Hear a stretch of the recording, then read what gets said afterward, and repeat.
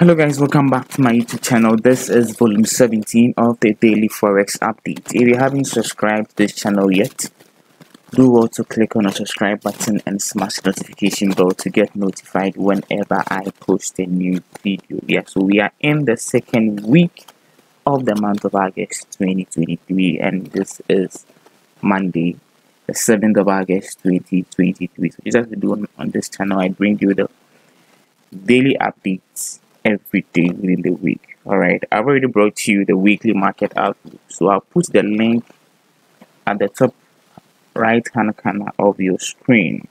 Click on it and make sure you get your overview of whatever I'm expecting to see on the market so far as this week is concerned. Alright.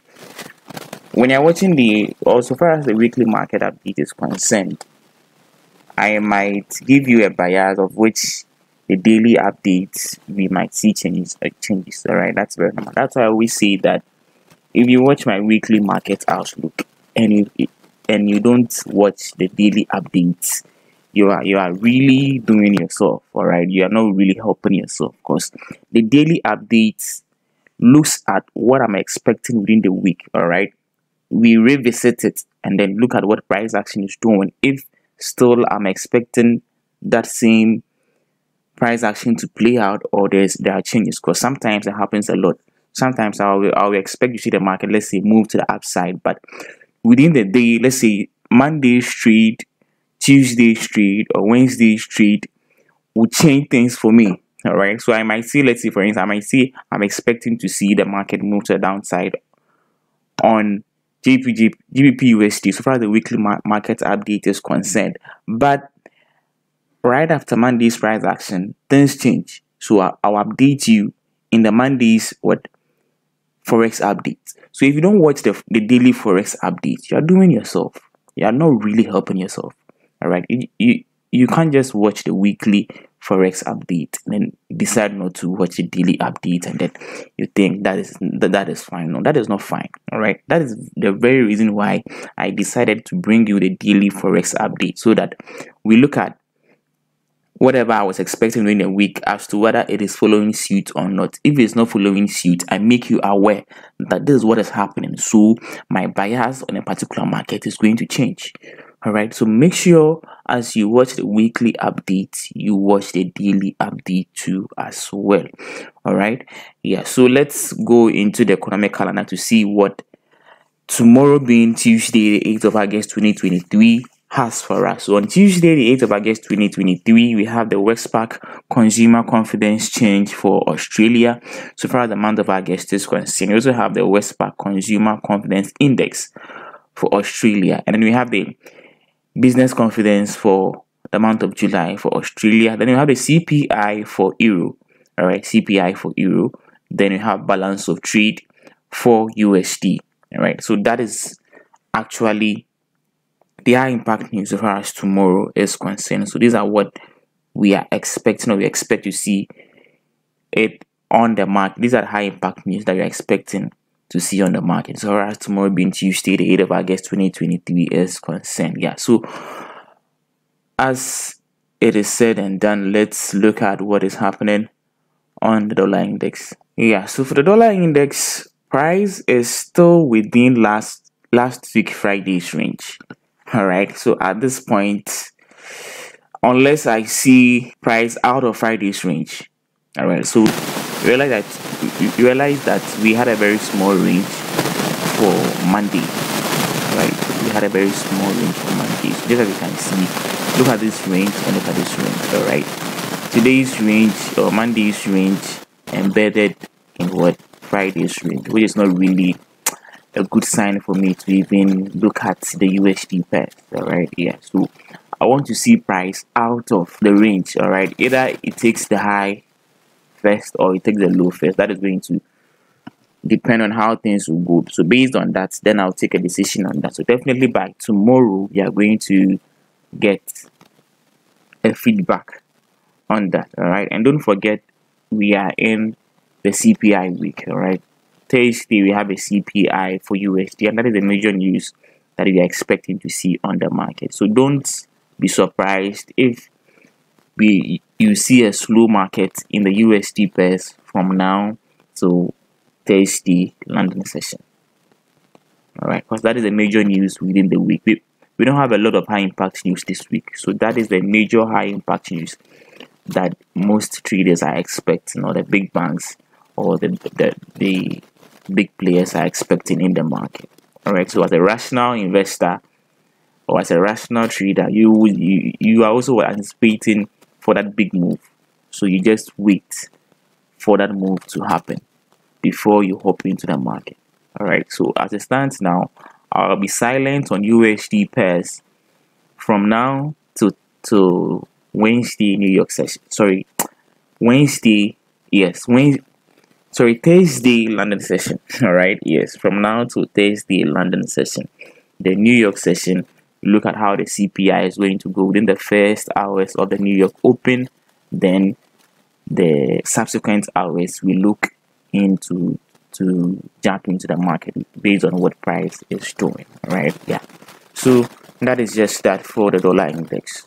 Let's look at what is happening on GBP USD. Yeah, so for GBP USD to same thing. All right, for GBP USD same thing. Monday's range finds itself in what Friday's range. So that means Friday's high and Friday's low is kept intact. And whenever this happens, I mean, I don't, I don't even touch the market at all because I need to, to, to I need to see price take out either Friday's high or Friday's low. That is going to give me a clue as to where market wants to move to. Other than that, I'll just fold my hands and look at what price is doing. Okay, until I see price take out either Friday's high or Friday's low. I'm not touching the market. That is what you should be doing as an ICT trader, right? Look at the various the the swing points. All right, look at the swing points. That is that will help you to determine how things will go. Yeah. So GBUSD, I'm going to be silent on it. All right. Yeah. So that is just that let's look at what is happening on USD CAD. uh, for for USD CAD, price has taken out friday's high friday's high has been what has been taken out all right and right after price taking out friday's high it just came back into the range again to take out what sunday's low and right after price taking out sunday's low it tapped into what in my weekly market outlook i made you aware of this zone here right? That this is a what this is a breaker block right here. All right. The last down close candle proud to price what coming down to take out what the those side liquidity that is tasty slow. And right after that we saw price what even as a quick move to the upside. All right. A quick move to the upside. We saw price meandering around and then went up to take out what friday's high which happened today Monday. And we've seen price tap into it. Alright, rather price tapping into it, there has been a what a swing low formation right here. Alright, there has been a swing low formation right here. So I will expect to see price continue to push to the upside. Alright, I don't want to see price come take out this low or even this low. I want to see price continue to to push to the upside to take out Monday's high. So USD CAD, I'll be looking forward bullish prices.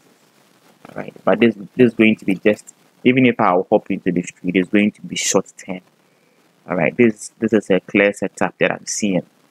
Alright, I posted something on my telegram channel today that you should portray a lady treat. Alright, a lady treat treat in quote, you should portray a lady treat in the month of August. Alright, and I went further to say that, or I went further to explain that you should be very picky with your setups. So far the month of August is concerned. So that is literally what I mean by portray portraying or you should be able you, you, you have to what portray a lady trait. Alright, you know ladies most ladies are very picky when it comes to I mean guys you get it yes so by showing a lady treat on the market that means you're what yeah you you be very picky when it comes to your setups Right? You're very picky when it comes to your setup, so just take note of that. Alright. I guess price action is not really smooth. I guess price action is not smooth. So just as I said, you should be very, very picky with your setups. And if you look at this I think this is clear. Alright, this is clear. Provided price does not come anywhere close to this low, we'll see price continue to to push to the upside. So I'll look forward to see if we get the opportunity tomorrow for a, a nice setup. Alright, a nice buy setup. Yeah, so kindly take note of that. So that is just that for USD CAD. Let's look at what is happening on GBP JPY. Yeah, so for GBP JPY, we had price what price filled to what to take out Friday's Friday's low. Alright, price filled to take out Friday's low, but Euro JPY it did so that confirms an what an SMT divergence. This is Euro JPY. So Euro JPY it took out Friday's low. Alright, it took out Friday's low, and that confirms that what that confirms an SMT divergence. Let's switch back to GBP JPY for me to show you something. I mean, the price action on Euro JPY and GBP JPY is literally the same. Alright, I just want to show you what is happening on GBP JPY because that is that is so clear at the moment. Alright, that is very clear at the moment. So let me let's switch back to GBP JPY for me to show you what is happening in there. Yeah, so for GBP JPY, SMT divergence with what Euro JPY, we've had price what taking out Friday's high, sorry, Thursday's high, Friday's high, and then Thursday's high. I hope you are seeing what I'm seeing here. A fair value gap. This is a what? This is a fair value gap we are seeing here. Alright, this is a fair value gap we are seeing here. And below this fair value gap, we also have a breaker block. Alright, I'll take this bullish candle and this bullish candle one, two as my breaker block. Alright, yes.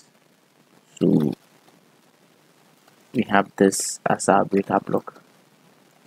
Alright, because the last down close candle proud price what taking out this low and then moving to the to the upside. Right, the last down close candle proud to price taking out Friday's low, then it moved to the to the upside. So it's either going into tomorrow price will come and then tap into the zone, tap into the fair value gap we are seeing here. Then we see a push to the upside, or price will will come further into this breaker block. Then we see a push to the upside. All right, any of these two will go. All right, if price taps into this fair value gap here, I'll take an entry. All right, I'll take an entry. If price comes further into this breaker block right here, I'll take another entry. All right, yeah. So just take note of that. So this is what I'm expecting to see on GBP JPY so far as going into tomorrow is concerned. Yeah. So that is just that for the daily forex update. If you haven't subscribed to this channel yet, do also click on the subscribe button and smash the notification bell so that whenever I post a new video, you will get notified as soon as possible. If you're not part of my Telegram community, just check the description box. The link is there. Click on it and be part of the Clairvoyant Traders Telegram community. I'll come your way again another time. Peace.